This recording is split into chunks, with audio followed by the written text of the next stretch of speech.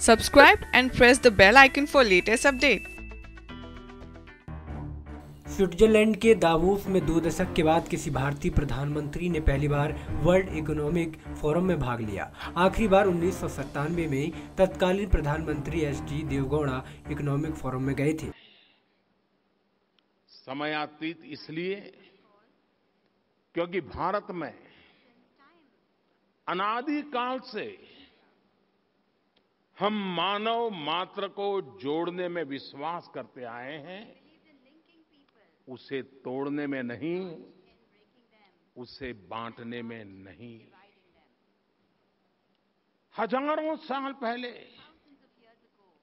संस्कृत भाषा में लिखे गए ग्रंथों में भारतीय चिंतकों ने जो कहा है, और जिसका उल्लेख अभी प्रोफेसर स्वाब ने अपने भाषण में किया। और वो है, भारतीय चिंतकों ने कहा है, वसुधैव कुटुंबकम, यानी पूरी दुनिया एक परिवार है। तत्वतः हम सब एक परिवार की तरह बंधे हुए हैं। हमारी नियतियों में एक साझा सूत्र हमें जोड़ती है। वसुधैव कुटुंबकम की यह धारा निश्चित तौर पर आज दरारों और दूरियों को मिटाने के लिए और भी ज़्यादा सार्थक है रिलेवेंट है।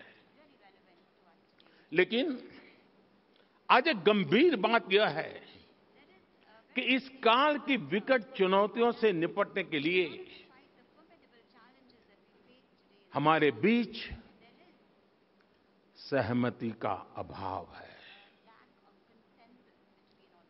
परिवार में भी जहाँ एक और सौहार्द और सहयोग होता है, वहीं कुछ न कुछ मनमुटाव, मतभेद होते रहते हैं। पीएम मोदी ने इसके ज़रिए दुनिया को आपसी कारोबार बढ़ाने पर फोकस करने को कहा। उन्होंने दुनिया के राजनेताओं को संदेश दिया कि उन्हें सिर्फ़ खुद के देश को बढ़ाने पर ध्यान देने की बजाय वैश्वीकरण को बढ़ावा देने पर फोकस करना चाहिए। S P N news room की रिपोर्ट।